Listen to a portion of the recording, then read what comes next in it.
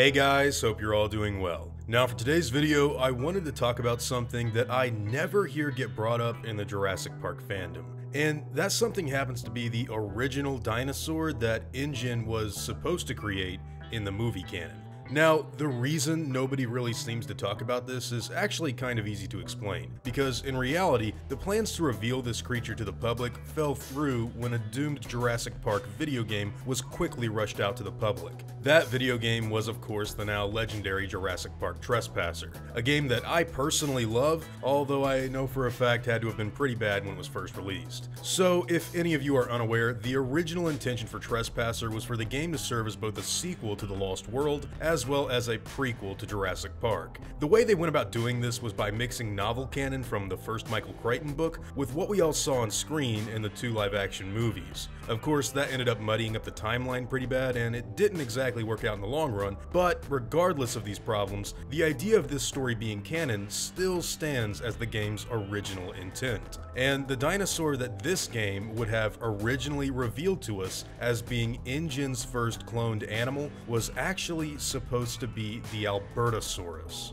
If you go back into the deep script for Trespasser that would have had Richard Attenborough narrate the events of Jurassic Park's past, you can find a timeline of the events that the game was trying to make canon during Anne's adventure. While not all of these lines wound up getting recorded and placed into the final game, the script still exists for us to all go over and check out what they initially had in mind. And one of those unrecorded lines of dialogue actually states the following 1985. The first dinosaur to prove viable in the modern age was a small Albertosaur, revision 308. It had behavioral quirks and a chronic skin infection, but it lived.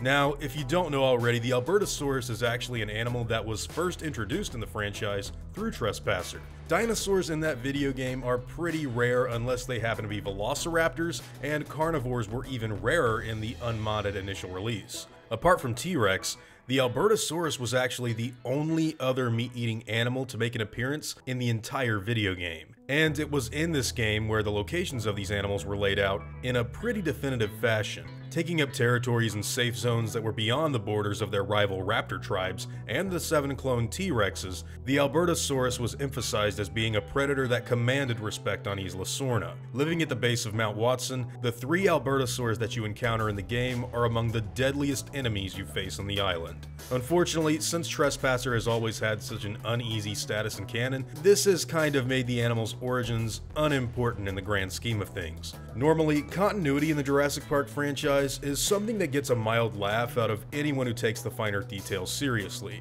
Most of the time, things just never really matched up. For example, the design of the Tyrannosaur in the original movie radically changes when it's depicted by either the animatronic or the CGI model, and if you pay attention to the film, it's kind of easy to tell.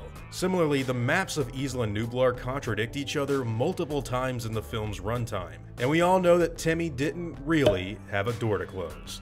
But you see the canon problems in Trespasser are really far more severe than anything we've ever seen before in the franchise, such as John Hammond himself telling us that Jurassic Park took place in 1989 instead of 93, the worker village getting a brand new layout and new buildings constructed in the years since The Lost World, and the entire island changing its shape to look absolutely nothing like what it did in the last movie. And trust me, these are just a few of the many, many more issues that the game has when you try to make sense of its validity in the movies. Nevertheless, the game did try to make its place in canon, and if that canon had been successfully integrated into the film series, it would have made the Albertosaurus InGen's very first dinosaur that they'd successfully cloned for Jurassic Park. Personally, I consider this to be a really cool revelation that I wish made its way into the final release, because Albertosaurus is a dinosaur that hasn't really gotten too much love until quite recently with the Jurassic World properties, and I think all medium-sized carnivores make for really cool additions to InGen's list. But yeah, with that out of the way,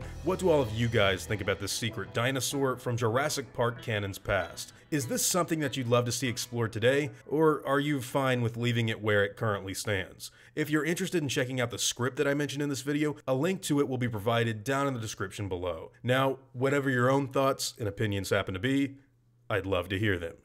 In the comments down below. Now before I go, I'd like to thank all of my game wardens, as well as all of my InGen executives.